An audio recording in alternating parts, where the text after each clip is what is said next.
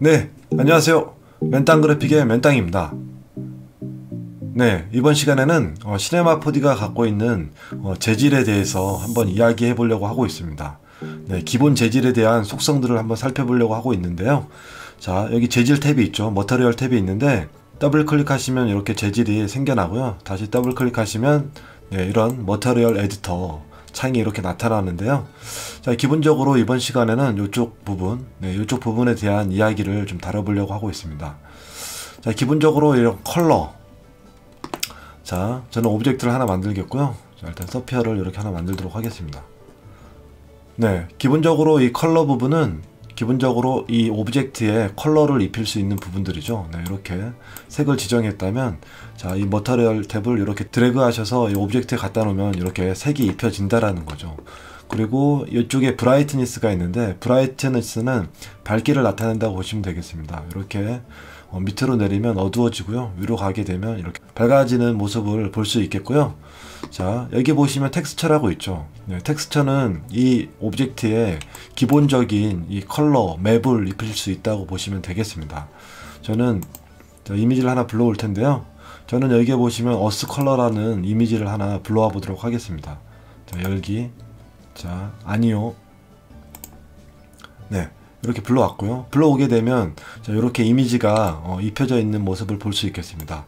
저는 이 상태에서 자, 이미지가 잘 안 보이기 때문에 자, 에디터에 들어가셔서 자, texture preview size를 저는 좀 크게 놓도록 하겠습니다. 4096에 4096. 네, 이렇게 하게 되면 기본적으로 이 재질의 어, 느낌을 좀 더 디테일하게 볼 수 있겠습니다. 지금 이 텍스처 이미지가 좀큰 음, 사이즈가 좀 큰 사이즈라서 4096으로 이렇게 놨고요. 좀 작은 이미지 텍스처 사이즈면 1024 이렇게 놓으셔도 될 것 같습니다. 자, 지금 이렇게 놨고요. 지금 이렇게 보시면 여기에 이렇게 빛이 이렇게 보이는 부분이 있죠. 어, 이쪽 부분이 어떻게 보면은 어, 빛을 받을 때 어, 이렇게 환하게 비치는 부분인데 이 부분은 어, specular라는 부분이 예전 버전에서는 따로 있었는데 이제는 specular라는 음, 그 부분이 이제는 reflection이 안으로 다 들어가 있습니다. 그래서 어, 기본적으로 specular라는 strength 값이 있는데요. 이렇게 낮춰줄 수도 있겠지만 저희는 편의상 이 reflection 부분은 일단은 꺼두도록 하겠습니다. 네. 자, 이렇게 됐고요. 자, 이 컬러 부분을 다시 들어가게 되면 자, 기본적으로 여기 샘플링이 뭐 MIP, 뭐 논, 서클 여러 가지 알리아스, 뭐 SAT 여러 가지가 있는데 기본적으로는 이 미브로 되어 있다고 보시면 되겠고요. 자, 좀 우리가 어, 자세히 보기 위해서 자, 이 정도 지금 입자의 어, 느낌이라면 저는 논으로 한번 놔 보겠습니다. 네, 논으로 놓게 넣으면 좀 더 거친 어, 이미지를 볼 수 있겠습니다. 다시 한번요. 다시 밉 자, 이런 느낌이죠. 네, 하게 되면 좀 블럭기가 있는 듯한 이미지를 어, 볼수 있겠습니다. 잠시만요. 에디터에 저는 8192로 한번 놔보도록 하겠습니다. 네, 좀 더 디테일하게 볼 수 있겠죠. 자, 지금 이미지가 상당히 어, 큰 이미지라서 지금 texture preview size를 이렇게 놨다라고 보시면 될 것 같고요. 자, 컬러 부분에 가셔서 다시 논. 자, 다시 논으로 해보겠습니다.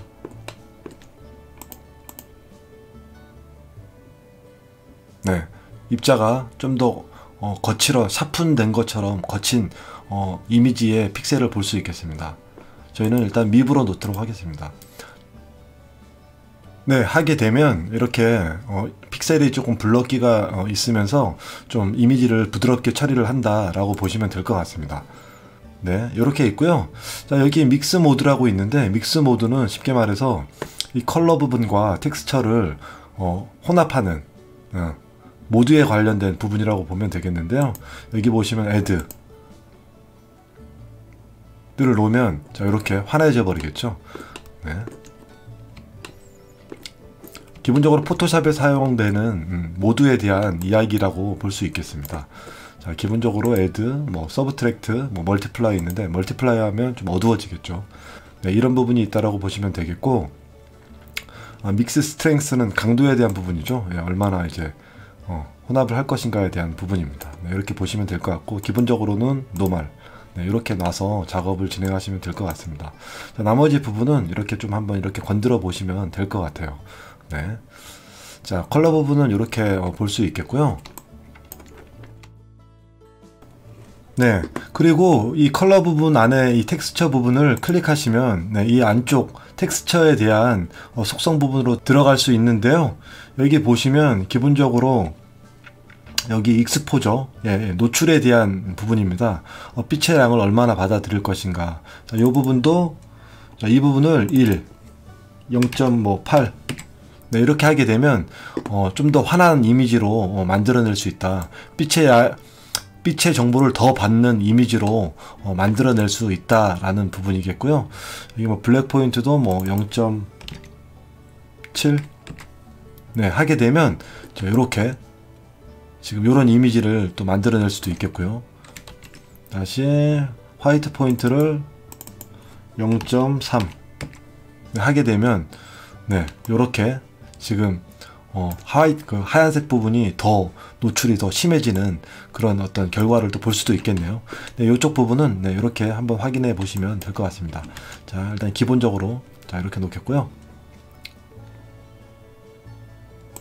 노출도 일단 기본적으로 0으로 이렇게 세팅하도록 하겠습니다. 네.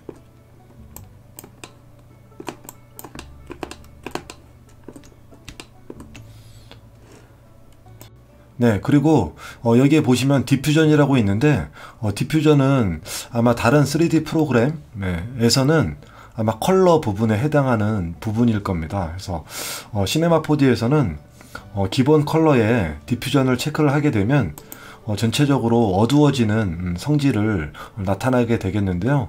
일단 이 브라이트니스를 이렇게 조절하시면 기본적으로 이렇게 어둡게 어, 표현을 할 수 있다라는 거죠. 그래서 이 텍스처 같은 부분에서도 자, 똑같은 이미지를 한번 불러와 보도록 하겠습니다. 자, 텍스처를 선택하겠고요. 자, 여기 똑같은 이미지를 이렇게 불러오게 되면 네, 기본적으로 네, 이렇게 어두워진다라는 거죠. 네, 그래서 포토샵 layer에 뭐 multiply나 뭐 darken처럼 layer 합성한 듯한 어, 그런 느낌을 볼 수 있겠습니다. 기본적으로 어떤 object가 이렇게 있을 때 그 object의 빛을 이렇게 비쳤을 때 그런 어떤 어, 그림자 되는 부분 그림자 되는 부분을 어, occlusion map으로 처리할 때 사용한다라고 보시면 좀 될 것 같고요 기본적으로는 어, uncheck 하셔서 어, 사용을 하시면 될 것 같습니다 네 어, 이번에는 이 luminance 네, 이쪽 항목을 좀 살펴보겠는데요. 자, luminance의 사전적 의미는 뭐 휘도, 뭐 발광 물질이라고 할 수 있겠는데요. 어, 발광의 개념으로 라이트가 없더라도 자체적으로 빛을 내는 기능을 줄 수 있습니다. 예를 들어서 이렇게 체크를 하게 되면 네, 이렇게 발광하는 형태를 볼 수 있겠고요. 어, 이렇게 발광이라고 해서 주변에 영향을 주지는 않습니다. 대신에 어, 여러분들이 render 세팅에서 global illumination을 체크를 했을 때는 네, 다른 object에게도 영향을 준다라고 보면 되겠고요. 기본적으로는 어, 다른 object에 이렇게 영향을 주지는 않는다라고 보시면 되겠습니다. 자, 저는 이 luminance에 자, 이런 이미지를 하나 가져와 보도록 하겠습니다. 자, 여기에 보시면 자, 이렇게 지금 어, 지구의 밤 어, 모습의 이미지인데요. 이 밤 이미지에 이렇게 조명들, 나이트들이 이 밤 풍경에 이 불빛들만 이 지구에 표현을 하게 될때 어, 사용한다고 볼 수 있겠습니다. 이렇게 지금 발광하고 있죠. 이런 이미지들이. 네. 지금 이런 부분들이 빛나는 부분들을 표현할 때도 이렇게 사용할 수 있겠습니다. 자, 한번 적용해 보도록 하겠습니다. 자, 이미지를 불러오겠고요. 자, 이 이미지를 적용하겠습니다. 네, 적용하게 되면 자, 이런 부분들을 볼 수 있는 거죠. 자, 이렇게 지금 빛나는 부분들이 이렇게 들어간 걸 볼 수 있겠습니다. 이 빛나는 부분만 이렇게 표현이 가능하다라는 거죠. 자, 다시 꺼면 네, 아무것도 없다가 자, 불빛을 이렇게 발광하는 부분의 불빛들을 추가를 하게 되면 이렇게 어, 표현이 가능하다라고 볼 수 있겠습니다. 네, 이런 믹스 모드라든지 뭐 스트렝스는 네, 기본적인 부분이니까 어, 넘어가도록 하겠습니다. 네, 자 다음으로 여기 보시면 transparency 같은 경우에는 기본적으로 투명도에 대한 이야기를 어, 담고 있는 속성인데요. 일단 이렇게 체크를 하게 되면 네, 기본적으로 이쪽에 보시는 것처럼 어, 유리 재질을 만들어내는 그런 옵션이라고 보시면 되겠습니다. 네. 자, 간단하게 한번 테스트를 해보겠는데요 자 저는 object를 자 이걸 하나 꺼내겠고요. 이렇게 이렇게 놓도록 하겠습니다. 자 이렇게 놨고요. 저는 material 탭에서 더블 클릭 다시 재질을 하나 또 만들어 보도록 하겠습니다. 네, 이렇게 만들었고요. 자 여기에 보시면 자 transparency에 체크를 한번 해보도록 하겠습니다. 네, 체크를 하게 되면 자 이런 재질을 만들어 냈고요. 자 이거를 이렇게 적용해 보도록 하겠습니다. 자, 이 상태에서 render 네, 하게 되면 이런 유리 재질의 어, 느낌을 만들어낼 수 있다라는 거죠. 자, 이 transparency 안에 가시면 이 reflection preset, 네, 반사에 대한 느낌을 이런 어떤 유리 재질의 반사를 쓸 것이냐, 아니면 이 안에 보시면 뭐 뭐가 있을까요? 아, 여기 다이아몬드도 있네요. 뭐 다이아몬드라든지 뭐 여기 보시면 뭐 PET, 뭐 플라스틱의 느낌, 아니면 뭐 루비, 루비의 느낌, 아니면 뭐 물에 대한 물의 반사도를 뭐 사용하겠다라는 그런 반사도를 어떤 물질에 대한 반사도를 사용할 거냐에 대한 부분을 이렇게 preset으로 제공하고 있습니다. 그래서 여러분들이 뭐 다이아몬드의 느낌을 연출하겠다라고 하게 되면 이렇게 체크를 하셔서 이 reflection의 강도들을 좀 조절을 또 할 수도 있습니다. 인위적으로 할 수도 있고요. 뭐 여기에 보시면 여러 가지 또 옵션들이 있는데 뭐 텍스처도 또 추가를 할 수 있겠고요. 그래서 이런 부분들은 사실 이 안에서 저희가 다 이렇게 다루지는 못하고요. 여러분들이 이렇게 조절해 가면서 어, 이렇게 사용을 할 수 있겠습니다. 뭐 2.0 이런 식으로 조절을 해 가면서 아니면 1.5 네, 이렇게 반사도의 느낌을 조절해 가면서 어, 사용할 수 있겠고요. 자, 이렇게 변하면 기본적으로 루비의 반사도는 아니라는 거죠. 예, 커스텀으로 변합니다. 그래서 어, 여러분들은 인위적으로 변할 수도 있고 아니면 이렇게 다이아몬드 또는 뭐 이렇게 루비 네, 이렇게 루비는 기본적으로 이 반사도가 1.757에 대한 값을 갖고 있다는 거죠. 그래서 이렇게 여러분들이 원하는 걸 이렇게 어, 사용하면 되겠다라고 보시면 될 것 같습니다. 한번 봐볼까요? 네. 지금 이런 느낌인데 저희가 지금 기본 렌더 세팅은 잡지 않은 상태죠. 그래서 기본 지금 어, 렌더 부분에서 이렇게 나온다 라고 보면 되겠습니다. 네, 그리고 이 재질의 느낌을 좀 불투명도 하게끔 하려고 하면 지금 이 브라이트니스를 이렇게 낮춰주시면 네, 좀 더 불투명 처리가 이렇게 된다고 볼 수 있겠습니다. 네, 네, 이렇게 올라갈수록 음, 투명해지고 자 내려갈수록 불투명해진다. 라고 보시면 되겠고요. 자, 기본적으로는 이렇게 놓도록 하겠고 자, 여기 보시면 블러니스라고 있는데 자, 이 blurriness는 어, 선명한 반사 또는 탁한 반사를 설정할 때 어, 이렇게 설정할 수 있겠습니다. 계속해서 저희는 이 reflection을 한번 살펴보도록 하겠습니다. 자, 일단은 uncheck 하겠고요. 자, 자, 이 platonic은 잠깐 안 보이게끔 놓도록 하겠습니다. 자, 다시 지구로 오겠고요.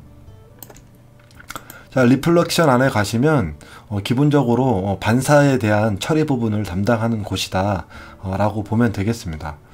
네, 어, 저희는 다시 지구 재질을 더블 클릭하겠고요. 자, 지구 재질에서 자, 이 reflection 네, 부분을 한번 체크해 보도록 하겠습니다. 체크하게 되면 기본적으로 이렇게 반사되는 부분에 specular가 이렇게 어, 보이게 됩니다. 비치게 되고요. 저희는 이 상태에서 여기 reflection 부분에 layer setup을 자 하나를 추가해 보도록 하겠습니다. 자, add를 눌러서 저는 Beckmann 여러 가지가 있는데 이 부분들을 다 설명하지는 못할 것 같고 기본적으로 베이크만 뭐 GGX 어, 이렇게 많이 사용하는 걸로 알고 있습니다. 그래서 베이크만 한번 클릭해 보겠고요. 자, 클릭하게 되면 자 재질이 지금 이렇게 변했죠. 기본적으로는 어, 이렇게 거울의 느낌을 어, 이렇게 보여준다라는 거죠. 지금 여기 레이어에 보시면 지금 100%인데 기본적으로 완전 반사라고 보시면 되겠습니다. 예. 어떤 object가 있으면 그 object를 그대로 반사시켜 버리는 재질로 변하게 되고요.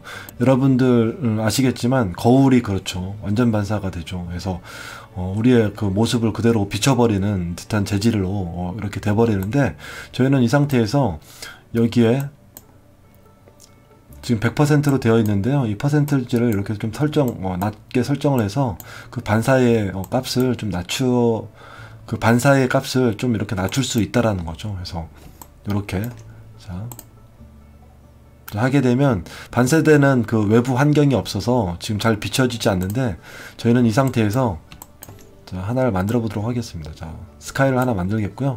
자 이 스카이에 저희는 콘텐츠 브라우저 예. 자 하두리 이미지를 하나 입혀 보도록 하겠습니다. 네, 요거를 하나 입혀 보도록 하겠습니다. 자, 스카이에 이렇게 자, 입혔고요.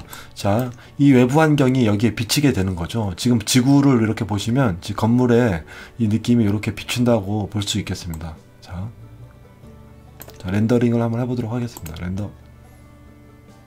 네. 그러면 이쪽 부분 네, 이쪽 부분이 지금 이 건물들이 이렇게 비친다고 볼 수 있겠고요. 다시 한번 이 스카이를 이 스카이의 하두리 재질을 꺼서 한번 다시 렌더링 해보도록 하겠습니다. 렌더 네, 하게 되면 이 반사 물질이 없죠. 다시 스카이를 켜서 렌더 네, 하게 되면 이렇게 반사 재질이 이렇게 들어간 걸 확인할 수 있겠습니다. 어떤 object가 있다면 외부 환경을 반사 처리하고자 할때 어, 사용되는 음, 부분이라고 보시면 될 것 같습니다. 다시 자 지구 탭으로 왔고요.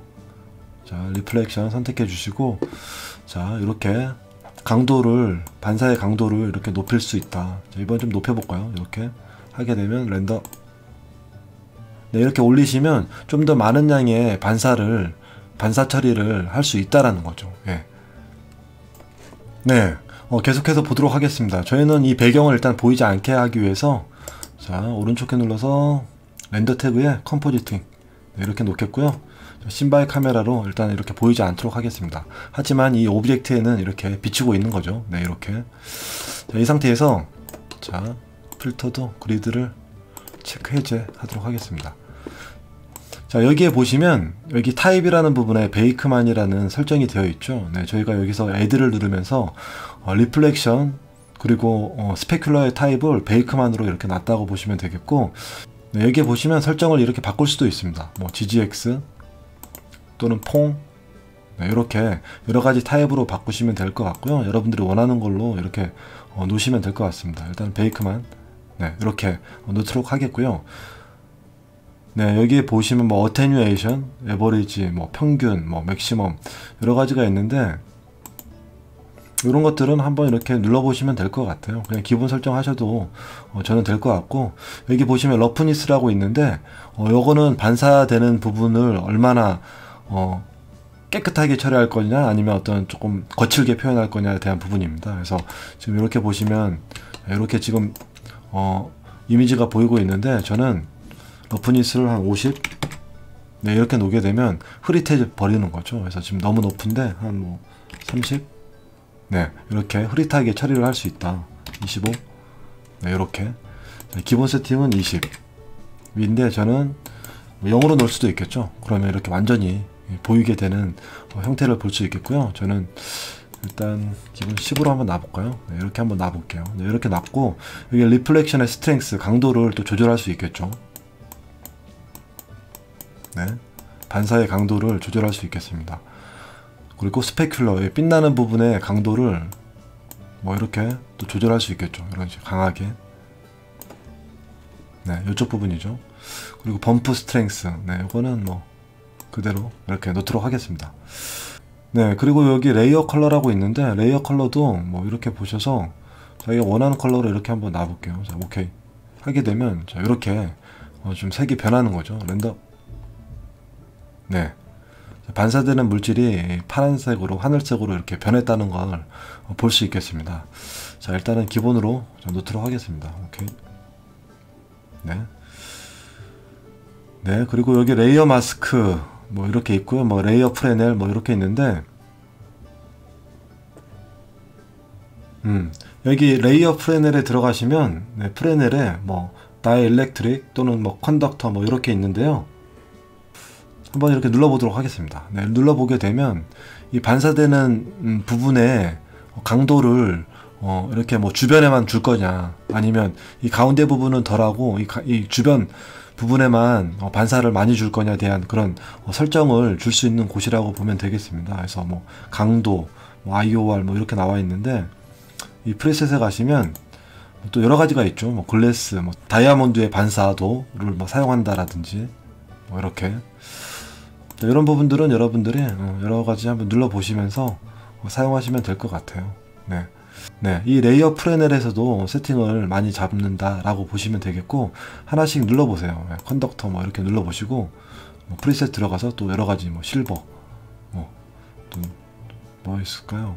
뭐 mercury, 뭐 또는 뭐, 뭐 골드, 네 여러 가지가 있죠. 네 이런 부분들을 여러분들이 어, 설정을 잡으시면서 하시면 될 것 같아요. 네, 이쪽 부분은 많이 좀 보시면 좋을 것 같습니다. 네, 이렇게 일단은 reflection에 대한 어, 이야기를 해봤습니다. 네, 기본적으로는 네, 기본 none으로 일단 놓을게요. 네. 네, 계속해서 이 엠, environment에 대한 항목을 좀 보도록 하겠습니다. 자, environment는 자, 자, 저희가 이렇게 외부 환경을 sky로 해서 이렇게 만들었었는데요. 일단은 외부 환경을 끄도록 하겠습니다. 네, 끄도록 하겠고요. 자, 이 상태에서 render. 네, 하게 되면 기본적으로 지금 이 컬러 부분에 지구가 있어서 자 이런 지금 형태가 됐죠. 그래서 저희는 이 reflection도 일단 끄도록 하겠습니다. 다시 render. 네 이런 상태가 됐죠 자 기본적으로는 이 reflection에 이 sky의 그 환경 부분이 반사돼서 이렇게 나왔는데요. 자 그렇지 않고 이 자체적으로 반사 값을 이렇게 줄 수가 있습니다. 그래서 그렇게 이제 사용될 때 이 environment를 사용한다고 보시면 되겠는데요. 저는 이 environment를 선택해서 자 텍스처를 하나 불러오도록 하겠습니다. 저는 자 이 이미지를 하나 불러오도록 하겠고요. 열기. 자, 열기를 하게 되면 자 이렇게 지금 이미지가 어, 이 환경에 어, 이렇게 입혀진다라고 보는 거죠. 네. 이 상태에서 저는 자 blurriness를 좀 줘보도록 하겠습니다. 뭐 10. 네. 어 render. 뭐 이런 느낌이죠. 네. 쉽게 말해서 이 오브젝트 자체의 어떤 환경의 어떤 이미지를 이렇게 입히는 어, 부분이라고 볼 수 있다라는 거죠. 그래서 blur를 저는 50. 네. 하게 되면 이렇게 blur 처리가 더 된다라는 거죠. 네, 이쪽 부분은 어, 이렇게 어, 보시면 될 것 같습니다. 네, 그리고 여기 브라이트니스를 이렇게 낮출 수도 있겠죠. 네. 이 환경 부분을 더 보이게 할 것이냐, 덜 보이게 할 것이냐에 대한 부분을 조절할 수 있겠습니다. 네. 자, 기본적으로 이렇게 놓겠고요. 네, 그리고 어, 여기 이미지를 더블 클릭해 보시면 자, 이미지 안에 이런 뭐 exposure라든지 뭐 black point, 뭐 white point 뭐 이런 또 옵션 창이 있는데요. 자, 이 말은 이 exposure 같은 경우에는 노출, 어, 빛의 노출을 말할 수 있겠습니다. 노출의 강도를 저희는 뭐, 어, 뭐, 1? 네, 이렇게 놓게 되면 이 환경 부분에 네, 빛의 양을 더 많이 줄 수 있다라는 거죠. 그래서 이렇게 뭐 이미지의 어떤 어, 밝기라든지 이렇게 이미지에 뭐 빛의 양을 좀 조절할 수도 있겠고요. 뭐 여기 화이트 포인트, 블랙 포인트도 이렇게 조절해 보면서 이렇게 어, 표현을 해낼 수 있다라는 부분인 거죠. 그래서 어, 이렇게 네, 또는 이렇게 네 이런 부분들은 어, 여러분들이 조절을 해보면서 확인을 하시면 될 것 같습니다. 자 일단 저는 자, 이 environment는 일단 끄도록 하겠습니다. 네. 어, 계속해서 이 fog를 봐보겠는데요. 네, fog 같은 경우에는 어, 많이 사용하지는 않는 것 같아요. 네, 저도 거의 사용해 본 적이 없는데 뭐 이렇게 눌러보시면 네, 기본적으로 이 재질 탭에 이렇게 어떤 하얀색 막이 이렇게 씌워진 걸 볼 수 있겠습니다. 이렇게 오브젝트에 보시면 네, 이렇게 뭔가 이렇게 뿌옇게 이렇게 조금 보여지게 만들 때 네, 이렇게 표현하면 될 것 같고요. 여기 보시면 뭐 브라이트니스 조절해 볼게요. 좀 낮춰 볼게요. 렌더? 네, 하게 되면 조금 이렇게 덜 거쳐지는 예, 하얀색 부분이 조금 덜 보여지는 부분을 이렇게 표현할 수 있겠고요. 다시 기본적으로 이렇게 놓겠고요. 다시 render.